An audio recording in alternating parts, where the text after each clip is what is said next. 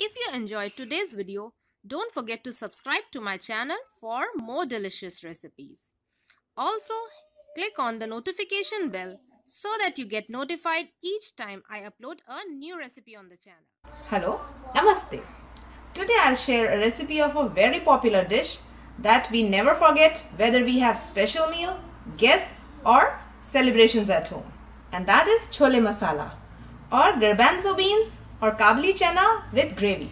Well, I have already uploaded recipe of pindi chole or Punjabi chole which are dry version of beans and go well with bhaturas. You can find the link of both the recipes in description. Let's start the making of special chole masala. Please note the ingredients needed to make chole masala. List is also given in description below. First of all, we need to soak garbanzo beans or kabuli chana overnight or 8 to 10 hours.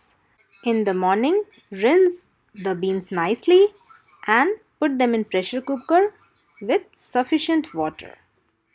Add in 1 black cardamom or badi ilaichi, cloves or laung, cinnamon or dalchini, bay leaf or tej patta, salt or namak. Now pressure cook the beans till they are fully cooked. You may give 3 whistles or cook for about 35 to 40 minutes. Meanwhile, let's make a paste of onion, garlic, green chilies and ginger. And here the beans are fully cooked. They are so soft and tender. Now from these beans remove whole spices, discard them. Do not throw the bean stock or the water in which the beans were boiled. Now heat a vessel on medium high heat.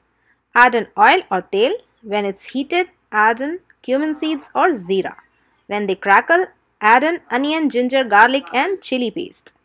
And cook this masala on medium high heat, stirring constantly till it leaves the edges of the vessel.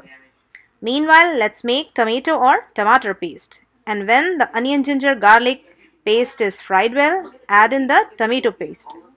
Add turmeric or haldi, coriander or dhania powder, salt or namak. Also add in little bit of aromatic garam masala. This is my homemade masala. Check the link in description below. And cook until all the masalas are fried well and they leave the edges of the vessel.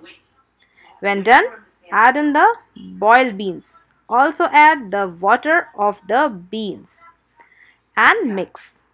Add in some water if you need more gravy and cook uncovered on medium heat for about 4 to 5 minutes.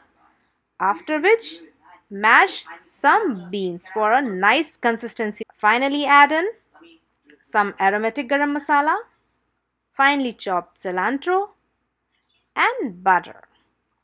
Mix well and serve it. Don't forget to add in some ginger juliennes. Eat with puris or zira rice. Thanks for watching.